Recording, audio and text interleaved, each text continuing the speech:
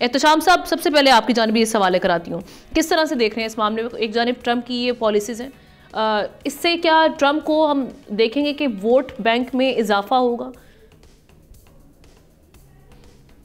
हमने देखें, ये अमेरिका का पहला इलेक्शन है, वो कहा जा रहा है कि 140 साल की सियासी तारीख में, जिसके बारे में ये बातें हो रही हैं कि ये पूरी दुनिया को इकसादी तौर पे और सियासी तौर पे किस तरह इफ़ेक्ट करेगा। लिहाजा सारी दुनिया इस वक्त इलेक्शन के ऊपर फोकस करके बैठी है। मीडिया देख लें कॉरपोरेट सेक्टर को देख लें इंडिविजुअली ममालिक जो हैं वो देख रहे हैं कि कौन जीतेगा उसके बाद क्या सूरत हाल होगी।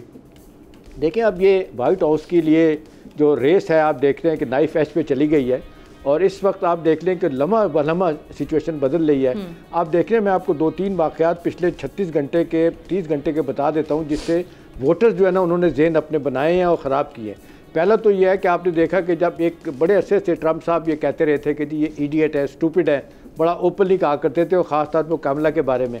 लेकिन अब उन्होंने एक और जो बात की जिसकी वजह से औरतों का वोट जो है ना वो बड़ी तेज़ी से कहा जाता है कि कटा उनसे दूर। एक उन्होंने कहा कि जी खातन में डिसीज़न मेकिंग पार होती ही नहीं है। तो अब ज़ाहिर है ये बड़ा डेरेगोरेटी सा लफ्ज़ है खातन के लिए।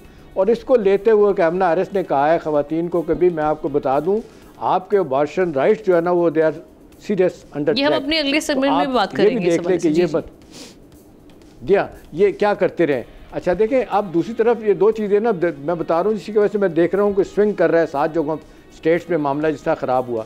उसके बाद आप देखेंगे प्रेसिडेंट बाइडन ने जो आ, ये कहा ना जब एक रैली में आपने देखा कि एक मजाई अदाकार ट्रंप के साथ था उसने कह दिया था पोर्टरिको के लोगों को कि पोर्टरिकन जो है ना वो आइलैंड ऑफ़ गार्बेज है। उसके बाद बाइडन ने इसके जवाब में कहा कि जो सपोर्टर हैं ट्रंप के वो गार्बेज आइलैंड है। तो अब देखिए, इससे क्या हुआ? फिर लेटेस्ट एक मैं बताऊँ जिससे मामला ख़राब हुआ, जो कैमला हारिस के लिए एम्बेरसमेंट आ रही है, वो है कि ये जो क्लिंटन प्रेजिडेंट क्लिंटन है फॉर्मर प्रेजिडेंट उन्होंने कह दिया एक जगह पे कि जी इसराइल जो है ना, वो हमास और इस्लाम पे वार कर रहा है और हमास जो है वो अपनी गलती की वजह से ना अपने सिविलियन लोगों को मार रहा है और मरवा रहा है लेके। अब देखिए, ये तो वो बातें हम ना जो डे टू डे बुनियादों पर असर कर रही हैं। अभी देखें वेस्ट के लिहाज से देखा जाए तो बड़ी लड़ाई है नेटो की और नेटो के बाहर जो कुछ हो रहा है। अब यूक्रेन में जो जंग होनी है अब यूक्रेन के जो बाकी ममालिक हैं साथ उसके पोलैंड है चोकोस्लोवाकिया बाकी लोग वो परेशान है कि अब ये ये एंड होता है कि नहीं यूक्रेन वार का कि नहीं होता? 50 बिलियन डॉलर पैसा फंसा हुआ उनका। इसी तरह से जो पॉलिसियाँ बनाई जा रही हैं यूरोप के लिए हम्म। और बाकी मालिक के लिए ट्रंप के आने के बाद वो लग रहा है कि वो खतरा पैदा होगा। चाइनीज़ की जहाँ तक बात है चाइनीज़ भी वैसे ही रेसिप्रोकेट कर रहे हैं कि जी अगर आप लगाएँगे ड्यूटियाँ तो अब भी लगाएँगे। तो मेरा ख्याल है ये बहुत इफ़ेक्ट करेगा आने वाले दिनों में।